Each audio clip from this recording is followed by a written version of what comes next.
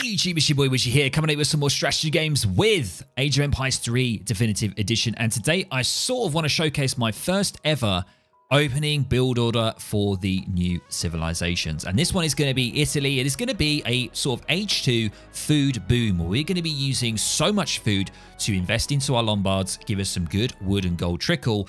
And it's going to be a slow burner, but it's going to get kind of crazy. So I hope you guys really enjoy this. Of course, after the video, let me know down in the comments below what you think, what kind of build orders you've been coming up with. It'll be great to see. And of course, this is going to be released on the 26th of May, so not too long to go. Without further ado, let's get into this. Right, ladies and gents, welcome to the battlefield. Here we go with this sort of food eco opening for Italy. So first thing you're going to want to do with your architect, you are going to want to start building a market immediately and then queue up a house. So if you don't know what the architect is, he basically builds buildings for free, but they take considerably longer, obviously, than you would be if you were using wood. However, throughout the construction, you can invest some wood to get the construction uh, or get the building up really quickly. And it does build pretty darn quickly, which is nice. Now, you start off with four villagers as the Italians, and you're going to want to be collecting your crates as usual. You are going to get a huge injection of food. And the minute you do, you want to make sure that you've got a bunch of vills queued up in your TC like I do right here. And then you want to be using the um, remaining vills that you have to collect your crates. And then you kind of want to macro with two vills on food, two on wood. And that is because you're going to want to use some of the wood that you're chopping here to help you get this market. So you can see here at the moment, I'm just building it normally. And I will be investing some wood very shortly. You're going to be seeing it. I'm going to be investing some wood shortly to get the rest of the market. There it is, that noise. Boom. You can see immediately the construction time has changed. And the way that I macro it here is I want to be getting my hunting dogs as soon as possible. Now, hunting dogs cost you 50 wood and 50 gold. So what I want to make sure is that with my villagers, I want to make sure I'm chopping a little bit of extra wood so I can help build the market and also just chop a little bit more so you can also help get your house up quicker as well because you don't want to be pop capped. And this is a thing with Italy. I don't want to go on about it too much it is kind of a difficult civ to understand because you've got to try and plan if you're going to need that extra bit of, of wood to get your building built faster with your architect. So there's a lot to think about. Basically, this is the opening that you're probably going to be seeing a majority of Italian players doing. And I've seen some people go with a house first and, and then the market, but we're going market first and we are queuing up these upgrades. So you want to queue it up. Hunting dogs first, great coat, and then the blunderbuss. And then the final one will be the, I think it's called the gang saw, which is 100 food as well. So a lot of food upgrades here and we're going to be okay because we've got a lot of vills queued up. We start with a lot of food, which is nice, which basically means we're going to be using some of that to get us the upgrades. And of course, every upgrade you get, you get a villager. That's so crucial with the Italians. So always remember that. Every kind of upgrade that you get, you get a villager. So always remember that. So the Great Coat is now coming out. We're going to be getting the Blunderbuss and the Gang Saw. And pretty much, guys, after this point, everything is on for villager production and food gathering. Now you can see here that I just quickly, there was a quick transaction there. I picked up 40 wood on a treasure and I used some of that to quickly finish off building the house. Okay. And then once you've built the house, the next thing, you, you, the next thing, sorry, you're going to want to do is build another house and then go for the basilica. Okay. That's the thing you want to do. Now the basilica, you can see this huge area that this building has and that gives you the improved construction speed, which is crucial if you're playing as Italy, of course, with the architect, you want to make sure that you build your buildings as quickly as possible. And you want to build this as soon as possible to get that benefit. And the Basilica can also garrison uh, not garrison, it can also be used to drop off um, home city shipments, whether that's eco or military. And it gives you two free upgrades, absolutely free, that will give you two villages. So this building is essentially a building that will give you two villages. It will give you an increase in construction speed for your architect. And it's a big building of 5,000 HP, so you can use that defensively if you want to. So there's many, many things, and there's other upgrades within this building as well. A really, really nice building, and you can use it to obviously ship papal allies, which are very, very strong military units. But we're not going to go into that too much on this opening. So you can see here that I am just getting the villagers here. Ideally, you want to be on 14 vills, and you can see that I am on 14. But I'm going to just be able to train an extra 15th villager, and that's because of some of the treasures that I got. But ideally, I think you want to be on 14 vills, and you want to be aging up around this sort of time now. So I am a little bit late. I am doing this. I've done this a couple of times. I'm not the best with getting my openings crisp, but I hope that you understand what I'm kind of doing. So let's pause here because we're getting into the next stage. And the next card is going to be the Medici card, which gives you one Lombard and it gives you two settlers. Now, the Lombard is uh, another unique building to the Italians where you can invest any of your resources and it will basically convert it into the opposing two resources or two other types of resources that you have at a slower rate. It will convert it for you. So basically what that means is we are going to be investing food pretty much non-stop into the Lombards. That's going to be giving us a nice trickle of wood and gold. And the reason that we're doing that is because we are playing a nice food eco opening here. We've already gone for the Furrier card and we're going to be going for the Spice Trade as the second card straight off the bat. And that is going to overall give us a 30, wait, that's 15%, hang on, 15%. Yes, a 35% increase in gathering hunted animals. So this is what this build is centered around. It's centered around your food, using that to invest in the Lombards, and essentially having a great trickle of wood and gold. And we can see here in transition, what I want you guys to be doing is getting your placer mines and your steel traps when there we go. There it is. Because you do get access to these upgrades. So make sure that you get the placer mines and the steel traps in transition. You can see here the macro can be a little bit tricky. And once you've done that, once you've got those two, what you want to do is you want to be macroing a little bit of wood and gold to help you boost your basilica. Now the basilica here, it costs 200 wood and 100 gold. So what we want to do is continue chopping a bit of wood and gold after we've got our two upgrades here so that we can help out our architect and we can boost the building of this because this is such a crucial building and I really like the idea of this. It has, as I say, it's got two free upgrades in it that will give you two extra villages. So really, really crucial. Another villain popping out because of that upgrade. And then we've got steel traps on the way as well. And I just think both Italians and the Maltese are really good H2 civs. They both focus around eco. Yeah, I, I, I just love the style of the two civs, but I do prefer Italians at the moment. And this is kind of an opening that I've seen. I have played against a few people. I've studied a few people's sort of building uh, openings and stuff like that. I've tweaked them a little bit, and this is what I'm showing you guys. So I hope you do enjoy it. And we are going to be getting to the next stage. Here we go. And we've got the Lombard wagon here coming out. And more villagers coming in. And our first card is going to be the Spice Trade card. So you can see here, there it is coming in, Spice Trade. The Basilica is nearly done because I helped improve it with the Vills. And now, once you've done that, pretty much, guys, you want to be nearly moving all your vills over to food because you're going to be wanting to invest 300 food into this Lombard as soon as possible. And you can see now my architect is finished with the Basilica. He's now working on a house and he's going to be getting the barracks straight after it. Now, obviously, we are, I am not playing against a real opponent here. We are just in five minutes here. I might suggest going for the barracks first before you build your second house. Now, I'm not entirely sure what the best way around that is to do it. It depends on how much pressure you think you're going to get.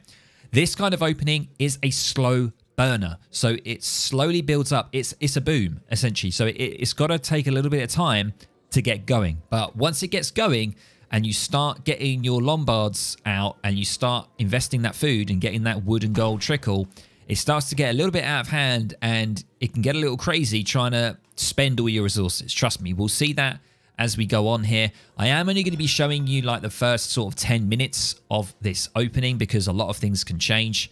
And I hope you guys can sort of just give this a go and maybe tweak it yourself. And everybody's still learning this civ. So as you can see here, majority of vills are going over to wood, uh, to food, sorry. I do have a little bit of a, of a situation with herding. So herding is so, so crucial. So make sure that you, you know where your herds are. I haven't had a great management there of my herds.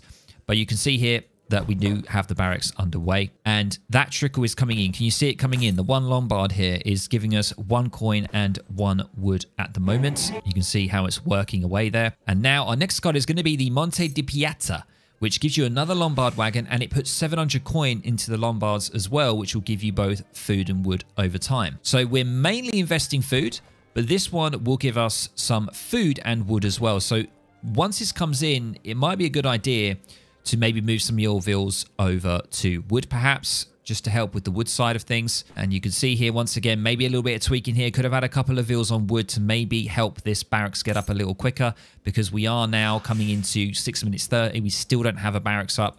So something to note there. maybe have a few vills on wood so we can just hurry along this barracks. That's probably something that could be adjusted in this opening.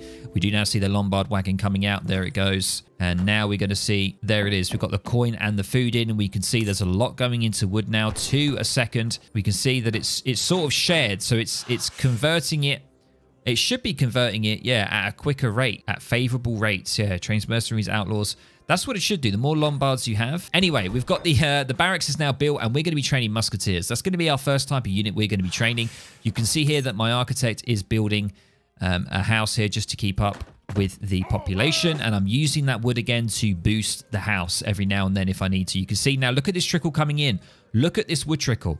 I'm not doing anything now. These Lombards are supporting it. It's absolutely awesome. And look how much food I'm rolling on. I need, to be investing this food, uh, like depositing this food, or maybe I need to be adjusting my macros slightly to help with maybe some extra wood. I should really be getting another barracks down. I, I'm not really doing that. I've just got the one here. So once again, something else to note, maybe get a second barracks to help with the, the demand here or the supply of food and gold. Next car coming in is going to be the 700 wood. And you can see now I am getting the second barracks. I've decided to get that down because of the amount of food I've got coming in. It's insane. Look at it. It's absolutely crazy. Once again, you could do some sort of FF here potentially. I don't know. I don't know if that's the best way to go. We are just looking at some H2 play here. We've got 700 wood coming in. We've got, I have now put a couple of vills over to wood just to help out and we are going to uh, be boosting that production of the barracks here. And now I decided to get stables. So I've gone double racks and then I'm opening up with a stables now as well. And you can see here, when this wood comes in, we've got the 700 wood, it has arrived. What you can do is start to train some Pavisiers. So you can start to sort of mix up your composition if you want. You don't have to go pure musk you can go for some Pavisiers, and that's exactly what I'm going for. So maybe try and spend some of that wood for that. And also, obviously, just make sure that you're spending the wood on the houses, which I'm doing here with my architect.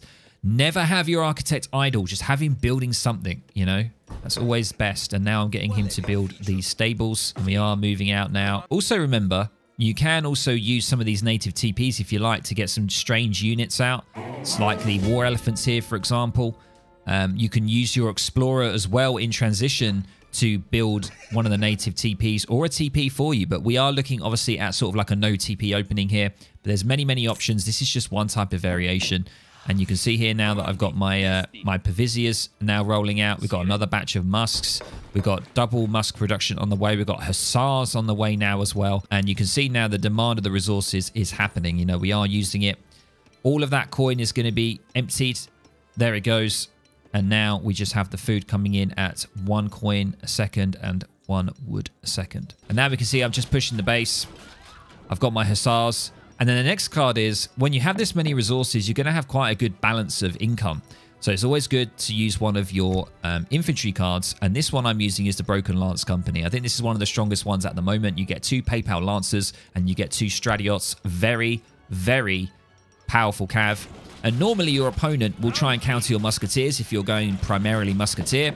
So opening with this, with these four heavy cav units will really deal damage to any skirms that he is getting. So we are going to be taking that TP down. We've got a great bunch of units here. And there it is. TP is down. And I'm moving my vills over. We're on 30 vills at the moment. One thing I did forget with this uh, recording is I forgot to get my two free villagers from the Basilica. Uh, so always remember that. Get your two upgrades from the Basilica. And you can see my architect, he's just building houses. He's just building houses. That's all he's doing. Um, and the Basilica is providing extra construction speed because it's in that zone. And the Broken Lance Company is going to be coming out. There it is. Look at these. 750 HP, 30 range resist, and basically just destroys all infantry. And this, these guys have 56 HP as well. 56 damage, sorry, just straight across the board. 30% range resist and nearly 600 HP. I, I mean, I think this is going to be changed. It's absolutely crazy. Anyway, moving in, we're just going to be clearing up the vills. And that is pretty much it, guys, in a nutshell.